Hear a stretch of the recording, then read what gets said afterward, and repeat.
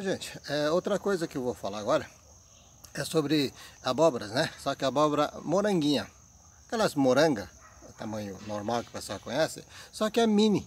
Ele é assim, pouquinho maior do que uma cebola grande, ou até dependendo do tamanho de uma cebola grande. E é uma coisa assim, uma especiaria, digamos assim, de ele tem um sabor até mais suave do que a moranga tradicional, né?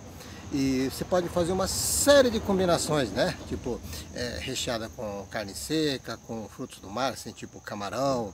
É, pode fazer doce, né? É, com recheios doce. E o interessante é que ela fica assim, digamos, chique, porque cada moranguinha fica sendo uma porção individual.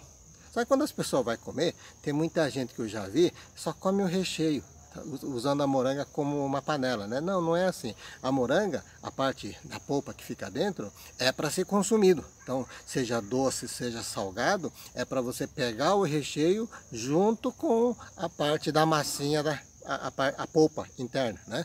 Eu já vi gente às só comer e desperdiçar achando que aquilo só está servindo como uma panela. Não, não é.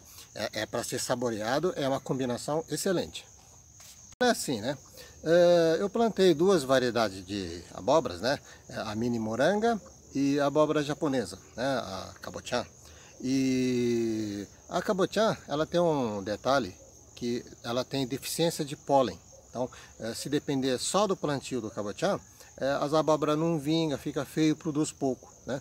Então, junto com o cabotiã, tem que ser plantada uma outra abóbora de outra variedade é, que floresça junto, né, tem o mesmo desenvolvimento, para que aproveite o pólen. Né? Então, nesse caso, como eu tenho sempre uma vez por ano planejado para plantar as mini moranga, eu plantei junto. Né? Então, vai unir útil agradável. Eu faço as duas colheitas de excelente produto. Né? Então, o pólen da mini moranga serve para o cabotiã. E esse cabotiã vai muito bem com isso, né? Então vou mostrar aqui o desenvolvimento. Agora, é aquilo que sempre falo no vídeo, né? Tá na fase que vou começar a colher assim o primeiro fruto, os primeiros frutos, né? Então eu mostro que depois é só sequência de colhendo. Na verdade assim não é o pico, né? Depois que a gente começa a colher, passado algum tempo, que ele entra no pico, que você colhe tanto que não dá, não, não dá conta comer. Mas eu vou mostrar os inícios e mostrar mais alguns detalhes aqui numa ponta, né? Na verdade, assim, eu tô com duas áreas dessa mini moranga plantada. Tem uma parte aqui próximo da rua, na parte de cima do terreno, vai até ali no final.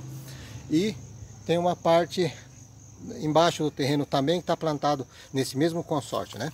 Então aqui, ó, mostrando uma rama, ó, as abobrinhas, as mini morangas.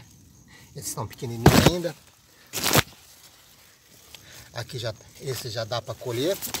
Esse ainda está crescendo aqui, verdinha. Ó, tem que ir abrindo. Ó. Esse aqui, ó, dá para colher. Aqui um, um, detalhe, né? Por que, que essa aqui, é, ela tá meio verdinha não tá com cor de moranga?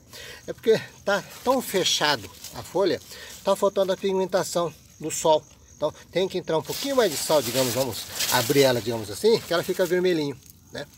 Então o excesso de, fama, de rama causa isso aqui. Ou teria que botar num espaço um pouquinho maior, né?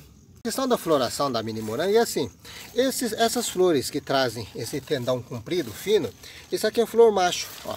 Isso aqui é tudo flor macho. É, as mini moranga que, é, da flor fêmea, ela já vem com formação da mini moranga embaixo, pequena abóbora, digamos assim, né? Então recebe o pólen, ela vinga e vai para frente. Então as fêmeas, ela já vem acompanhado com é, pequena formação da abóbora polinizando, ela continua, senão ela aborta e cai, né? Então tá aqui uma flor que achei, ó, tá vendo? Então, ih caramba, acabei de Fui mostrar, ela saiu, mas essa aqui vai acabar perdendo. Aqui, ó, essa pequenininha. Então, ela já vem com formação da, da moranguinha embaixo. Então ela vai desenvolver mais um pouquinho e a flor vai abrir. Esse aqui é a formação da flor macho. Tá vendo que tem, já começa com um tendão maior comprido, né? Ela é a flor macho. Esse é a flor fêmea, que é formato é diferente. Essa aqui já está totalmente desenvolvida. Essa aqui já vou tirar agora. Tem alguns que por falta de sol tá meio esverdeadinho, mas o, desenvolvimento também já tá bom. Esse está perfeito. Eu vou tirar daqui um pouquinho e vou mostrar na minha mão. Esse fruto também já tá bom para tirar. Eu vou tirar ela também. Do plantio, eu plantei numa cova aproximadamente 50 por 50, né? Preparado com um pouquinho de calcário, só para garantir. porque ela gosta de um, de um solo assim bem equilibrado, né? Em termos de acidez. É, esterco de galinha e um pouquinho de adubo.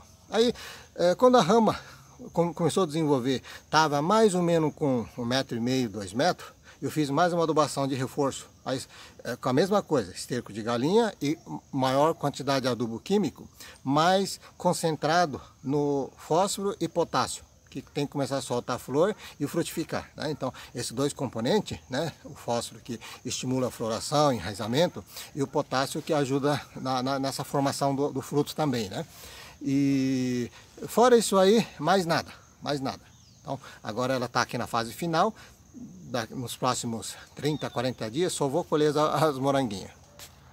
Tem um pouquinho de presença de oídio, são os fungos brancos que dá na folha, é bem comum em quase todo, quase todo tipo de plantação, né? Então aqui se piorar, achar que vai atrapalhar, eu vou pulverizar com um pouquinho de vinagre 6% que ela resolve totalmente. Mas como a maioria não está sendo prejudicado e frutificação está bom, acho que não é, não é necessário mexer, né? Aqui, ó. Eu colhi aqui as moranguinhas, né? Esse aqui é um tamanho, ó, a minha mão, tamanho menor. Aqui, ó. Esse aqui esse é o tamanho que ela estava começando a ficar mais amarelinho, mas ela estava muito sombreamento, acabei tirando, mas está no formato bonito. Esse é um tamanho já grande de moranguinho, esse já é tamanho grande, né? E tá perfeito, totalmente formado, tomou sal, tá com pigmentação boa, aqui tá aqui, ó.